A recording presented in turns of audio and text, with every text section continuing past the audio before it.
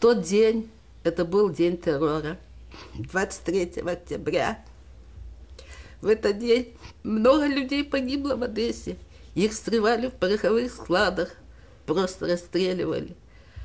В этот день погибли в пороховых складах бабушкина сестра с мужем. Дядя работал, ее муж работал в Черноморской газете. Он не мог эвакуироваться. И вот в первый же день они погибли.